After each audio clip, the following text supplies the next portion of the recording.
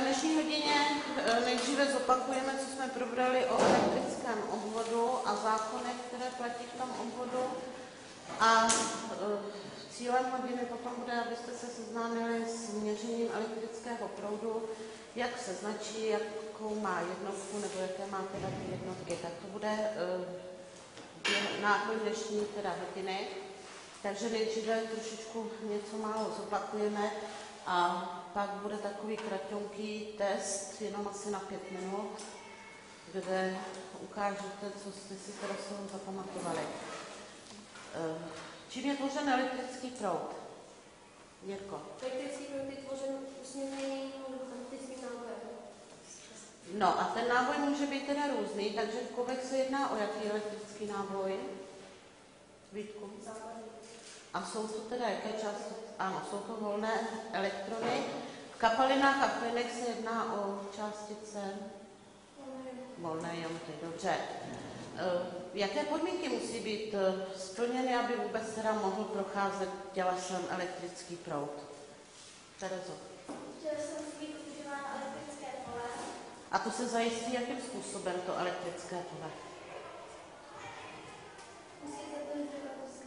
Ano, musí tam být zapojen zdroj elektrického napětí, dobře. A ještě nějaká podmínka, nebo by to... No, ještě nám řekni. Musí.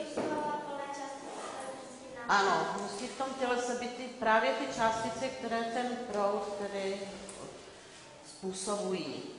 Jaké části má takový jednoduchý obvod? My si ho potom tady uděláme později na hlas. Baterie, vypínač, vodiče a nějaký spotřebič. Takže tím spotřebičem může být co například? Vybore. Žárovka libore, dobře, nebo to může být zvonek. Ještě jsme říkali třeba eh, petno, cívka třeba, odpor a tak dále. Eh, My jsme si zapojovali do toho obvodu pouze žárovičku nebo zvonek. A z jakého důvodu teda? Proč tyto dva spotřebiče, Veronika? Protože jsou jako nejběžnější. Tak, používají se velice často a potom, jaký to ještě mělo účel, Vítku? My jsme poznali, zda prochází. Ano, zda prochází... Ty, od, dej si odchod teď. Prosím tě, to snad není pravda.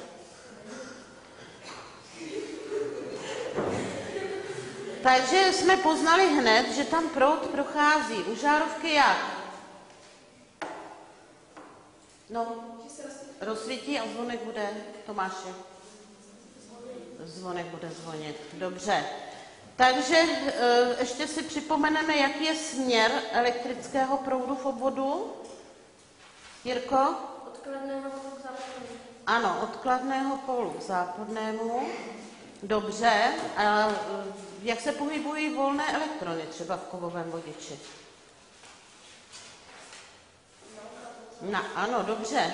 Naopak. To znamená od západného polu zdroje, tedy ke kladnému polu zdroje. Dostane každý z vás takový papírek malý, na který přímo se podepíšete a jsou tam jenom takové dva jednoduché úkoly. Jsou tam některé schematické značky a právě jednoduchý elektrický obvod a vyznačení proudu. Ano? Přímo na ten papírek napíšete, Vítku, prosím tě, pojď sem,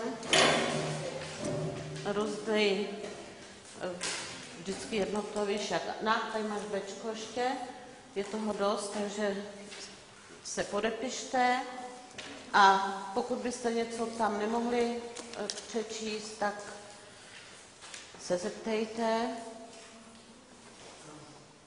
A nebo bychom možná mohli ještě, kdo má, už tadyhle děvčata mají eh, to Ačko, přečti nám první úkol. Najde se elek- elektrický obvod, žárovka, stýnač, elektrický článek, vodiče a šipkou vyznačně elektrického proudu.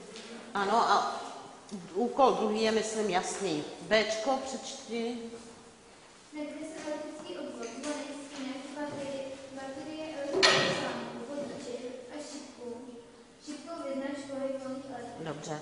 Takže pracujte přímo na ten papír, to bude jen takový krátký úkol.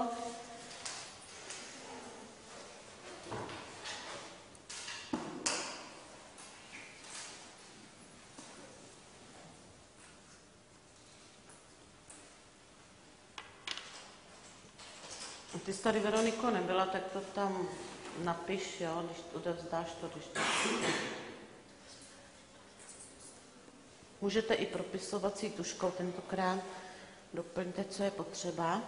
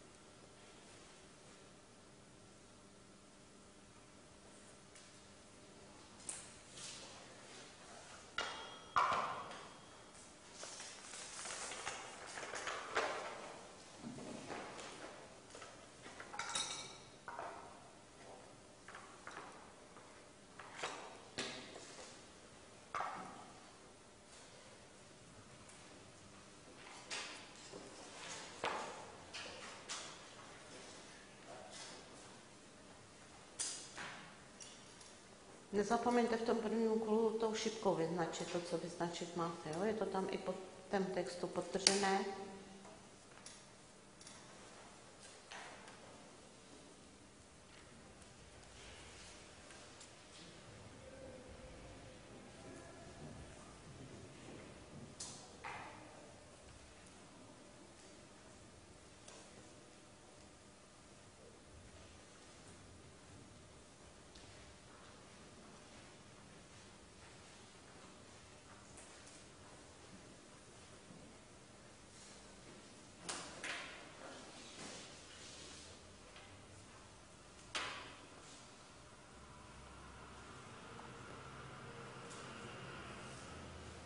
Tak pište, za chvilku budeme končit.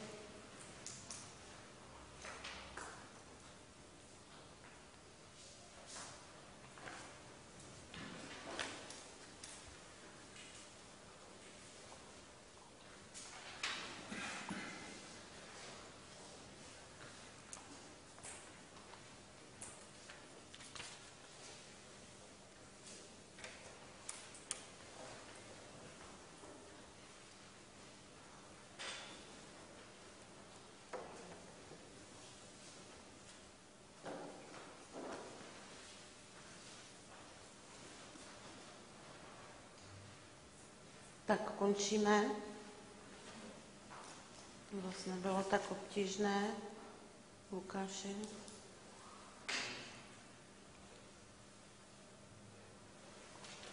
Tak.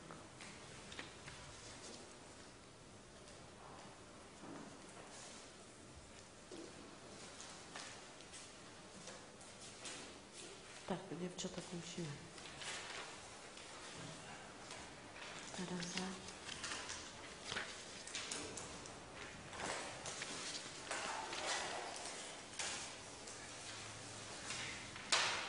No, ukaž. To tam. Končíme.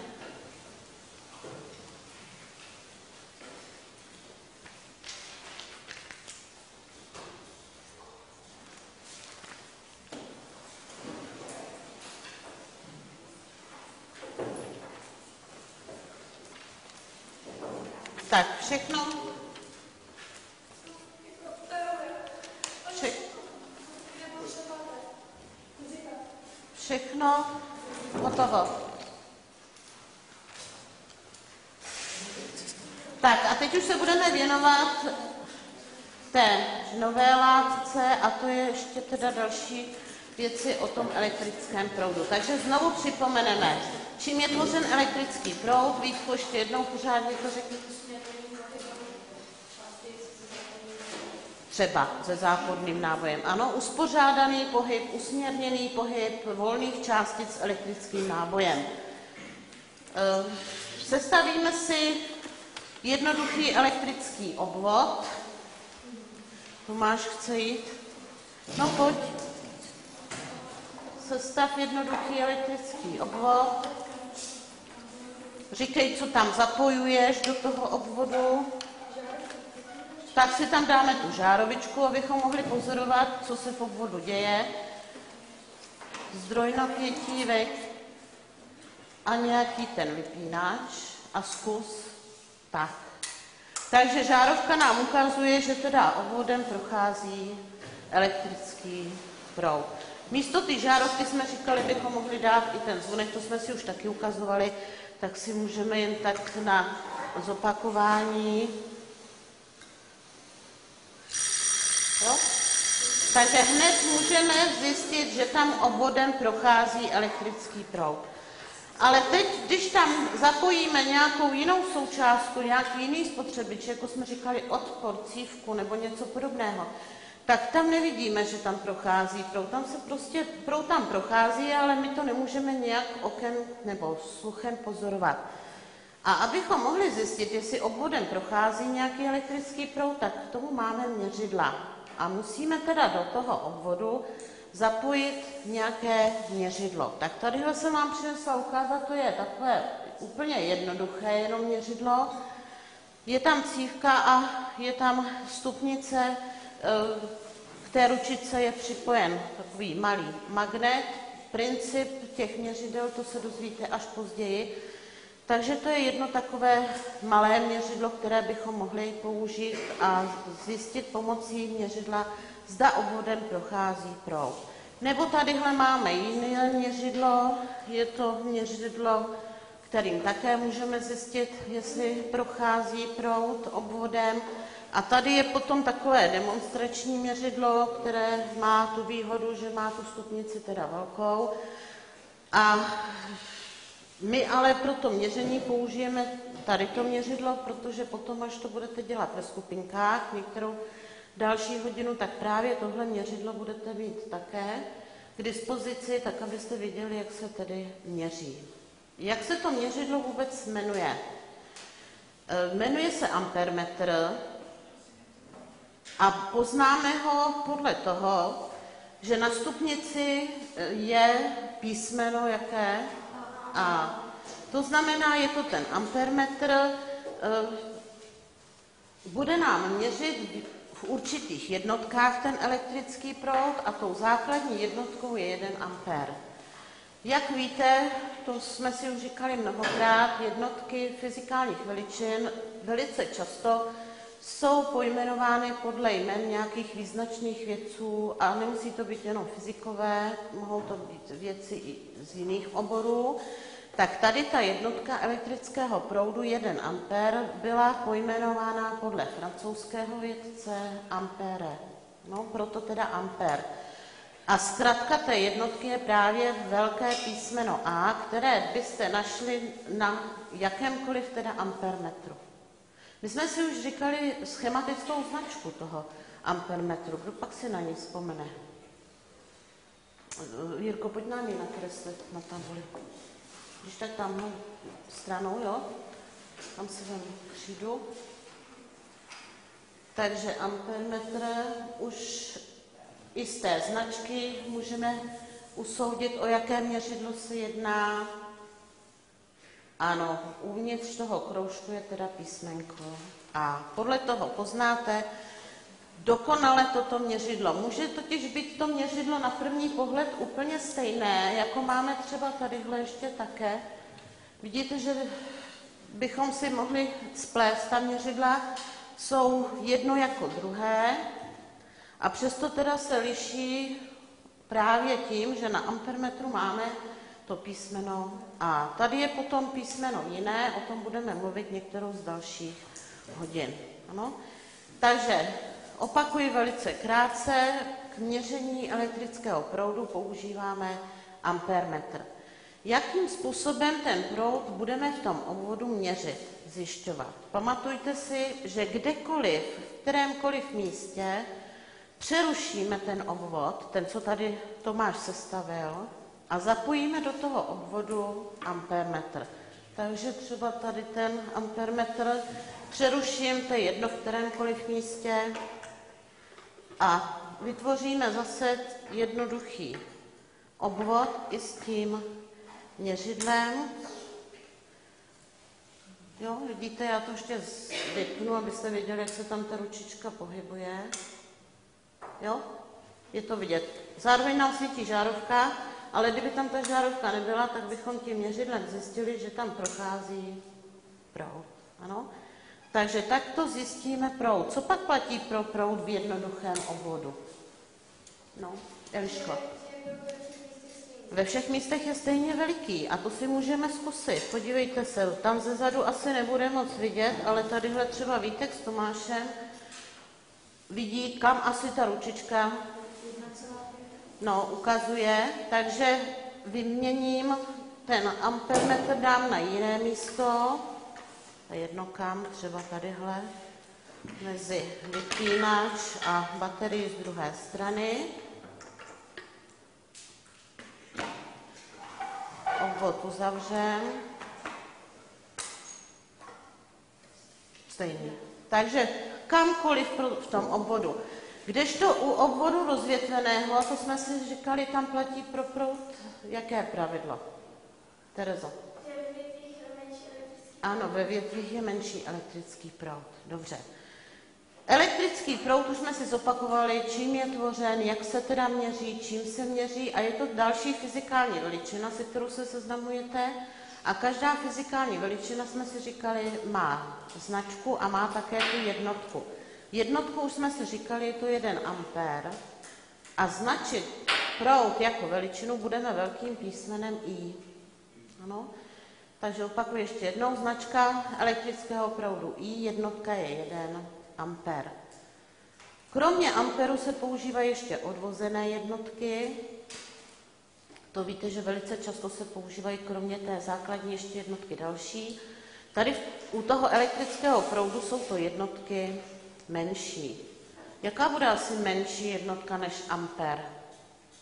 Jaká je menší jednotka třeba než metr? Taková ta hodně malá jednotka. Milimetr. A menší jednotka než 1 ampér bude? Miliampér, dobře. Jaká to bude asi část z toho ampéru?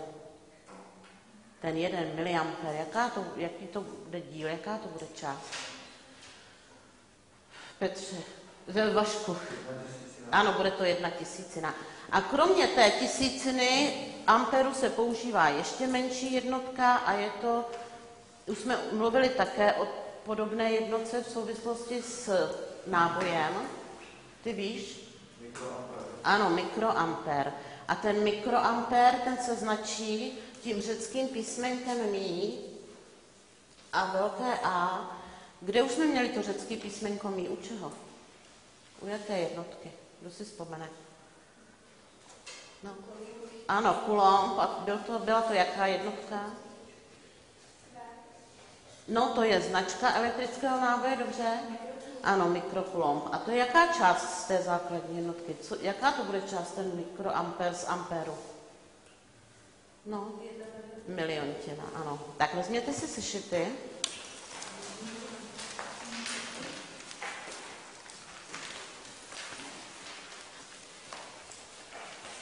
Nadepíšeme si měření elektrického proudu a jeho jednotky.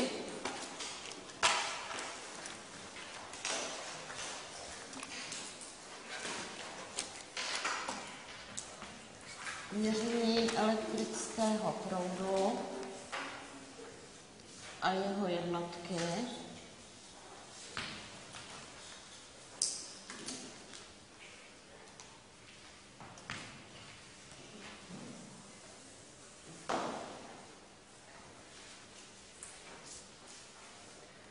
Takže si hned napíšeme značka elektrického proudu I jednotka elektrického proudu je A, což je ampér.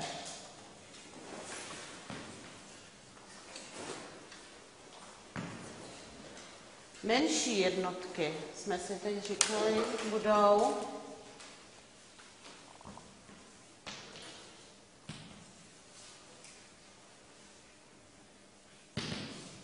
miliampér.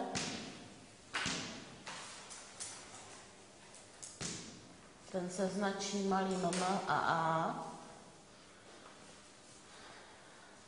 Co, o jakou jednotku by se jednalo, kdyby tam bylo velký M místo tohohle? To by byl, to se teda nepoužívá v praxi, ale byl by to megampér, takže malé M, abyste tam měli, jo, miliampér a mikroampér.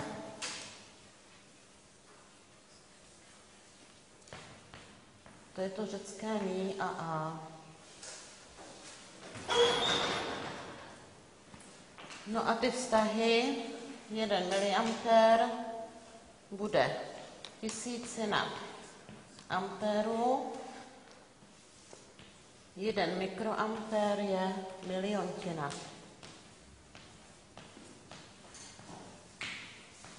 Tak, napište si. Nebudeme si zapisovat, že teda ná, název té jednotky je podle francouzského vědce, to si budete pamatovat.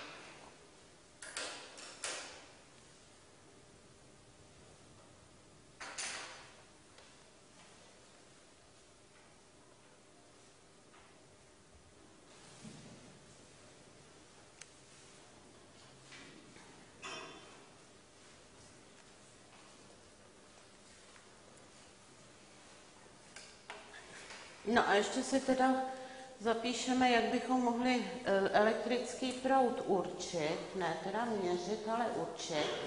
K tomu bychom museli vědět, jak velký náboj prochází tím vodičem a jak dlouho, po jakou dobu. Ano, potom bychom teda ten proud vypočítali tak, že bychom ten celkový náboj, který tam projde, dělili tím časem příslušným. My ten vzoreček si napíšeme, nebudeme nějak příklady zvlášť na to počítat, jenom abyste věděli, jak se proud dá také vypočítat. Takže ještě si napište, projdou-li průřezem vodiče částice s celkovým elektrickým nábojem Q, to jsme tady vzpomínali. Už dneska Eliška říkala, že se značí za dobu T prochází vodičem proud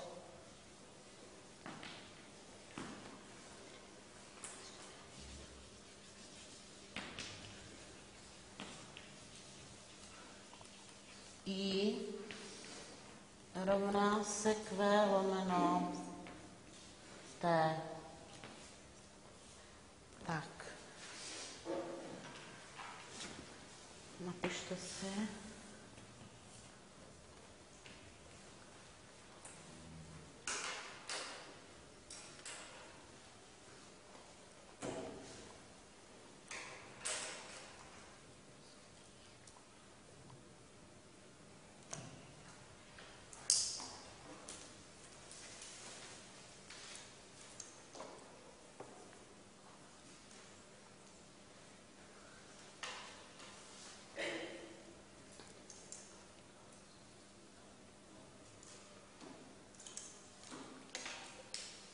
No a někdo půjde na tabuli a nakreslí nám ten jednoduchý obvod, zatím bez toho měřidla, který jsme se zapojili na tom stole, tak kdo půjde nakreslit. No. Veronika, tak pojď, jezdí. Dostaneš, tak Vítku, pojď.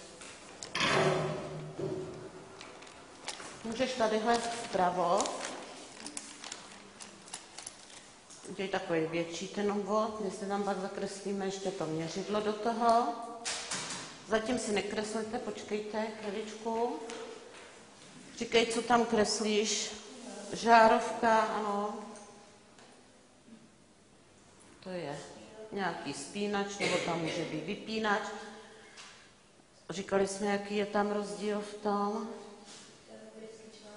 Ano, elektrický článek nebo prostě jakýkoliv zdroj elektrického napětí. Dobře, tak, posaď se. Tak, teď si tam můžeme vyznačit jen tak ještě pro e, připamatování, jaký je směr proudu v obvodu. Jaký je směr proudu v obvodu, Eliško?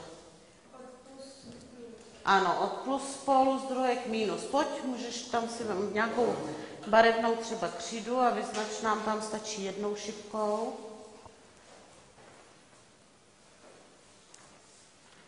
Ano, od kladného pólu zdroje k zápornému. Jak se pohybují volné elektrony? Taky tak. Jirko? Na druhou stranu, dobře. A teď jak tam zakreslíme ten ampermetr? Já jsem říkala, že se teda může kdekoliv obvod přerušit, kterémkoliv místě, protože proud je všude stejně veliký. A ten ampermetr tam prostě připojíme. Tak jak to tam vkreslíme do toho? Tak Tomáši, pojď.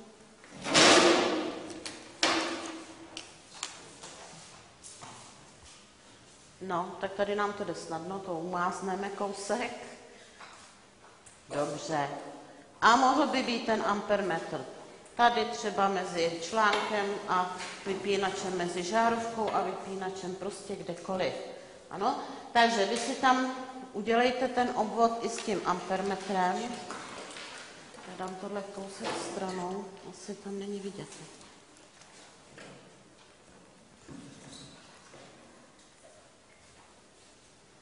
Takže si to tam nakreslete a napíšeme si elektrický proud. Měříme ampermetrem.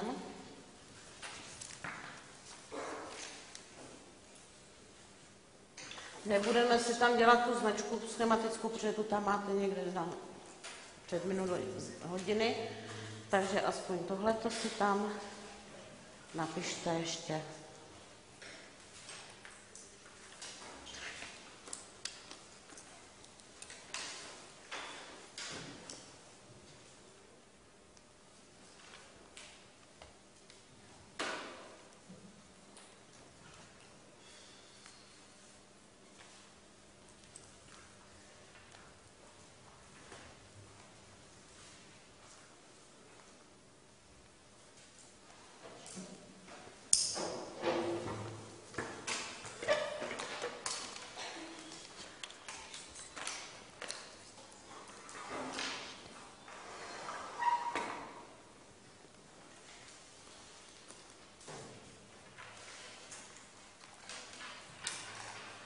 Hotovo.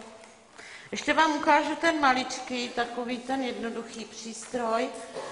Eh, Tam se nám to bude fungovat.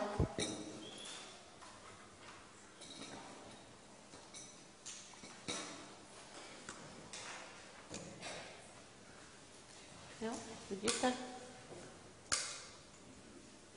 Takže jakmile zapneme, i, i když teďka ta žárovička nám nesvítí, protože ta cívka má velký odpor, takže měřidlo ale ukazuje, takže obvodem prochází pro.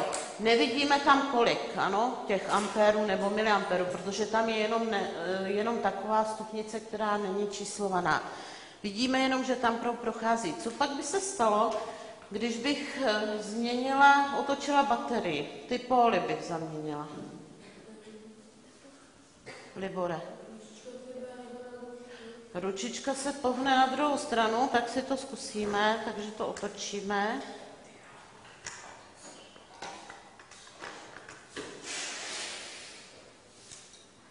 Jo.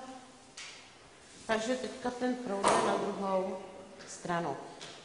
Pokud použijeme ale e, zdroj, jako je článek, baterie, nebo takovéto typy zdrojů, my o nich budeme později taky mluvit, tak proud, pokud pochází, prochází stále jedním směrem jenom, tak takovému proudu říkáme proud jednosměrný nebo stejnosměrný.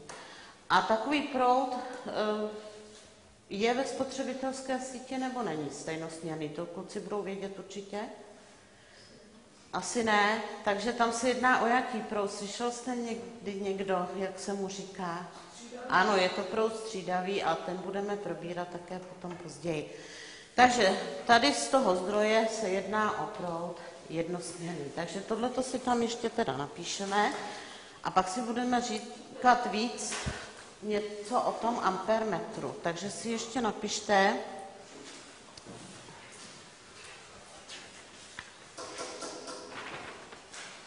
elektrický proud, který má stálý směr,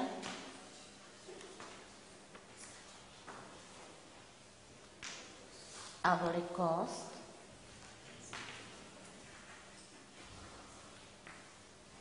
je stejnosměrný elektrický proud.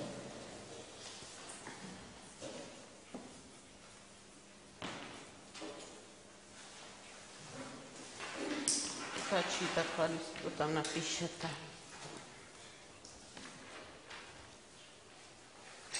Jednosměrný proud.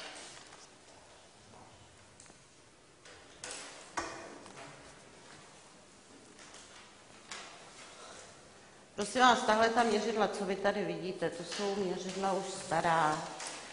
Používají se většinou k takovým těm žákovským pokusům na měření. Jinak k takovým těm praktickým měřením se používají dokonalejší měřidla.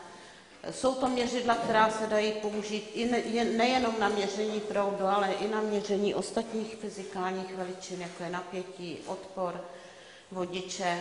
Ale pro takové ty školní pokusy tato měřidla jsou asi nejlepší, protože vydrží poměrně hodně, vydrží i různé způsoby zapojování, i když se zapojí tak, jak se zapojit nemá, tak tohleto měřidlo je celkem takové odolné. Existují i měřidla digitální, která jsou asi nejjednodušší, protože přímo na displeji se přečte velikost proudu, který tam prochází. Tady na těch měřidlech je to trošičku složitější. Tady totiž je stupnice a my si musíme uvědomit, eh, jak velký proud asi budeme měřit. No to není zrovna ampermetr. Jak velký proud budeme měřit, abychom si zvolili dostatečný rozsah, abychom ten proud mohli změřit. Pokud by bylo nějaké měřidlo velice citlivé a připojili byste ho do obvodu a prošel by jim větší proud, nežli je možné, tak by se ten přístroj pokazil. Proto si musíme uvědomit, jak to měřidlo a jaký ten rozsah správně zapojíme. Tadyhle třeba u tohohle měřidla jsou tři takové svorky, takže my tady můžeme použít dvě stupnice, které jsou tady na e, tom měřidle, ano, nad tím A. Jedna stupnice je do 6 desetin ampéru a na té stupnici bychom odečítali, pokud bychom zapojili do obvodu pomocí těchto dvou svorek, tak, jak jsme to měli no, zapojené.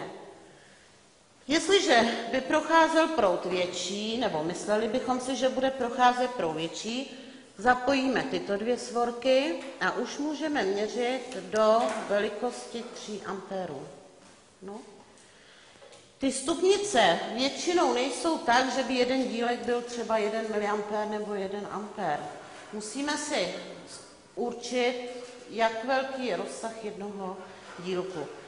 To dělá právě e, dost velké potíže. Uvidíte potom, jestli některou další hodinu takový jednoduchý obvod ve skupině zkusíte zapojit a budete odečítat hodnoty proudu na tom měřidle a uvidíte, že vám to někomu bude dělat problém, e, protože třeba některý dílek může být dvě desetiny no, ampéru, Někdo to zjistí hned, že jo, ty šikovnější, někomu to bude dělat problémy vůbec na to je stupnici odečíst hodnotu toho elektrického proudu.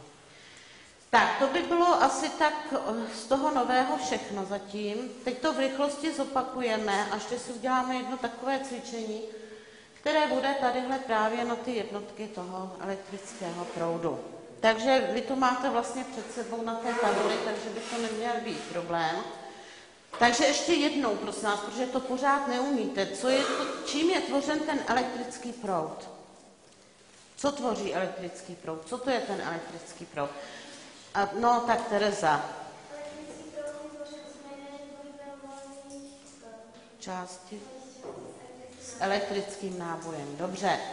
Čím můžeme měřit velikost elektrického proudu? No, Eliško, měříme ampermetrem. Eh, Jak se zapojí ten ampermetr? To jsme si nepopisovali, ale viděli jste to tady.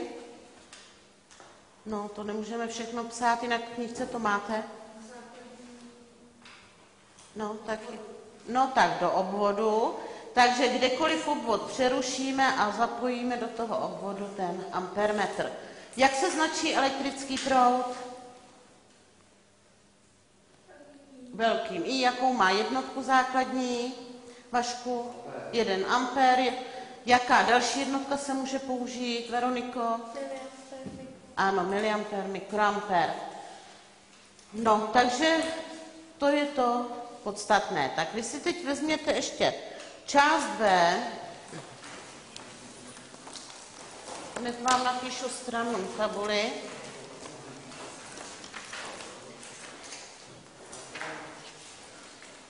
Bude to strana 37.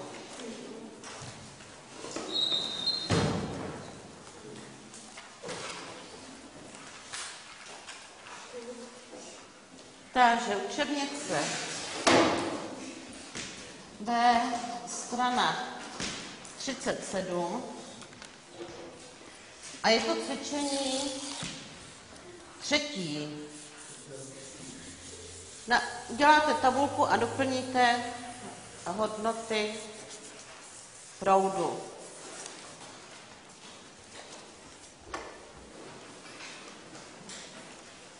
Kdo bude hotov potom, tak se může přihlásit. Máte tady ty vztahy napsané. Převádění jednotek byste měli vlastně umět jakýchkoliv jednotek, ať už je to délka, objem, hmotnost.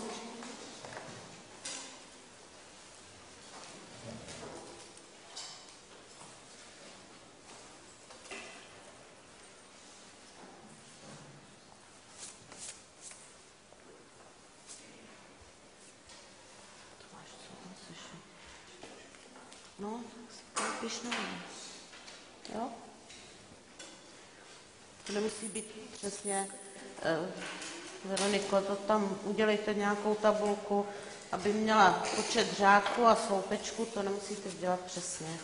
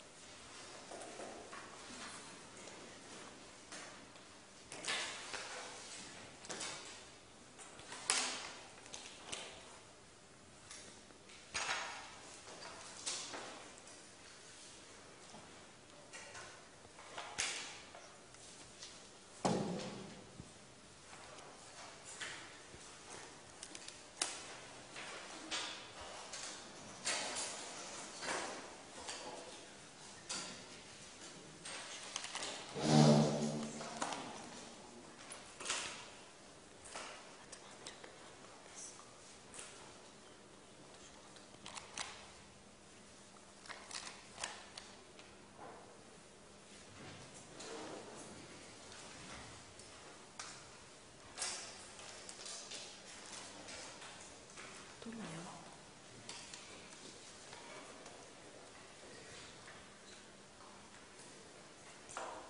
Při tom doplňování si musíte uvědomit, jestli převádíte malou jednotku na větší nebo obráceně, abyste teda převedli správně.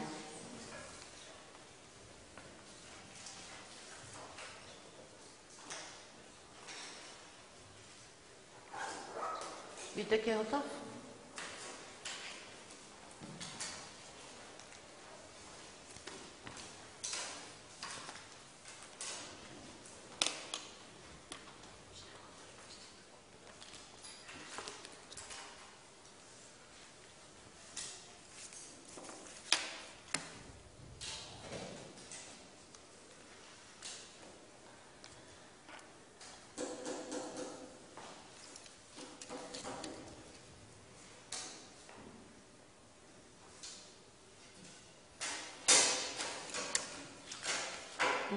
To dobře.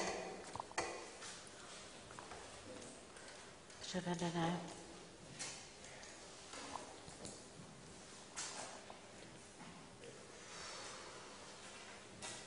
Tak kdo je dál hotov? Nejlépe, když si to převedete na ty ampéry nejdřív, pokud to... A pak to postupně už převedete jednoduchým způsobem.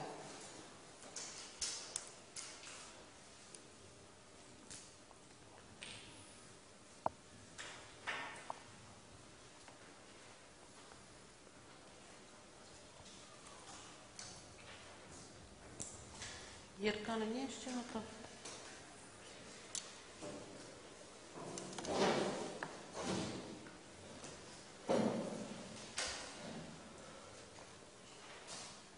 Převeďte si to nejdřív tady na to. To je nejjednodušší, ano? Nejdřív na, ten, na ty ampery, do toho prvního sloupečku to převeďte. A potom už vám to půjde tam podle toho, jak je na tabuli snadno.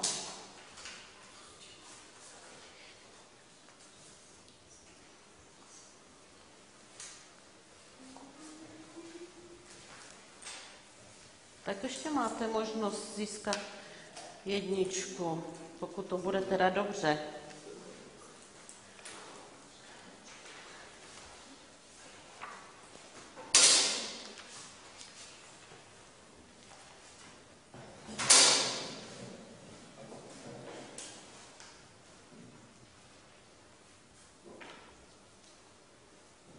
No, takže Eliška je druhá. A kdo ještě bude? Tomáš má, a Lukáš ještě.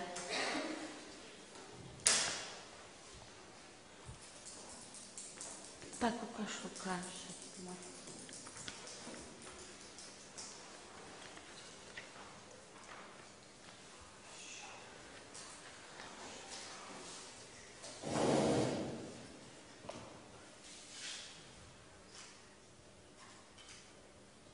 Tady máš chybu. Kde Tomáši? Tomáš tam má chybu. Tady. A Lukáš.